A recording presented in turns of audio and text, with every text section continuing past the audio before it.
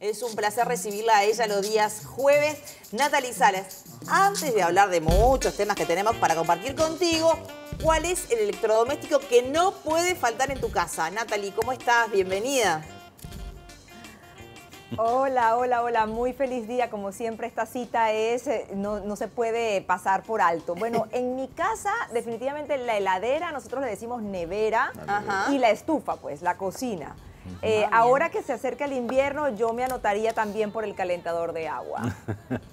y, lo que es la calefacción, porque allá las temperaturas, la verdad, no es igual que, lo que es Uruguay. Este, acá las temperaturas mínimas está frío, pero no tanto a veces como en algunas zonas de Estados Unidos.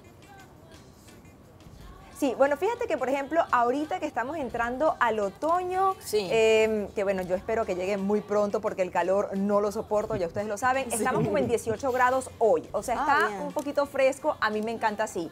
Ahora, normalmente, incluso en invierno, aquí en Washington, yo particularmente no enciendo la calefacción. ¿Cuál es la mínima en invierno? Pero si me baño con agua caliente. Sí, claro. Ah, en invierno, mira, podemos llegar como al menos algo a veces. Si es muy fuerte, mm, sí, quizás unos menos dos. Como acá. Pero de resto mm, es, es soportable. Es soportable con un cafecito caliente, caminando en la calle, se aguanta. Decía, en resumen, rápidamente, que eh, según los Centros para el Control y Prevención de Enfermedades y la FDA, han aumentado las hospitalizaciones aquí en Estados Unidos a un 15% y las infecciones, que todavía es un porcentaje menor al registrado en verano del año pasado. Sin embargo, autoridades de salud sugieren el uso de las mascarillas, eh, depende de la persona, en, por ejemplo, en lugares cerrados como el transporte público, el metro, etcétera, y algunos distritos escolares en algunos estados también lo están sugiriendo. Igualmente, la colocación o la administración de esta vacuna para aquellas eh, personas de, la población vulnerable. Hablamos, por ejemplo, de las personas mayores de 80 años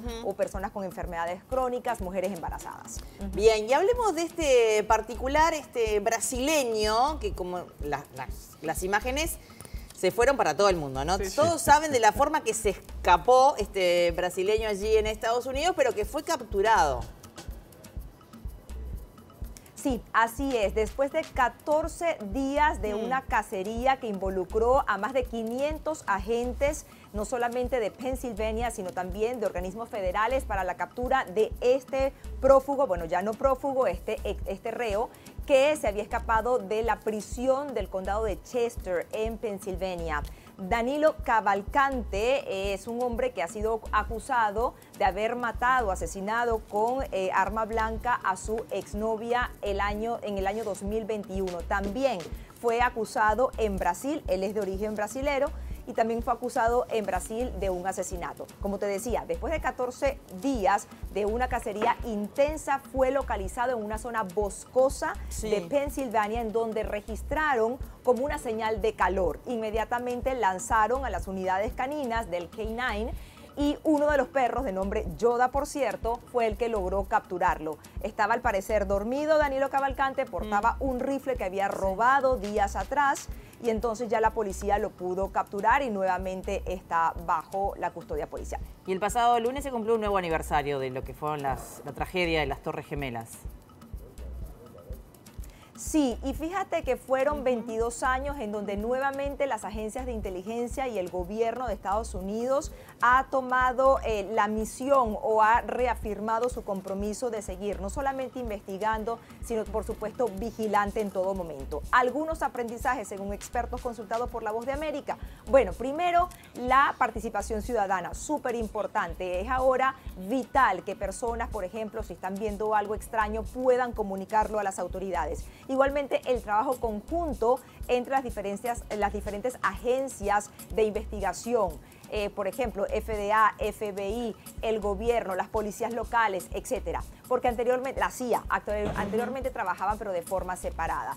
Y algo también interesante, y es que a raíz de esa situación de, del 9-11 de 2001, también la palabra terrorismo empezó a cambiar o a mutar y empezamos a escuchar casos, por ejemplo, de terrorismo interno, como por ejemplo lo que ocurrió en el maratón de Boston, no sé si mm. recordarán. Sí, claro, por supuesto. 13.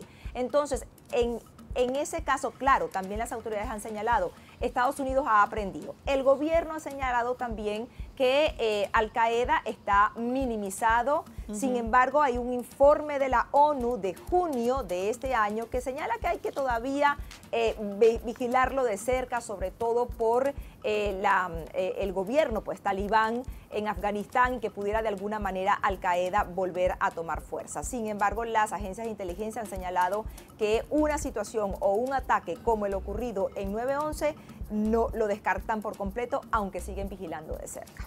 Natalie, como siempre, un placer recibirte todos los jueves aquí en 8am. Nos reencontramos la próxima semana, creo que ya en otoño, ¿no? Eh, ingresa el 21. Exactamente, yo estoy loca porque llegue ya. Chaucita, buena semana. Que pase bien.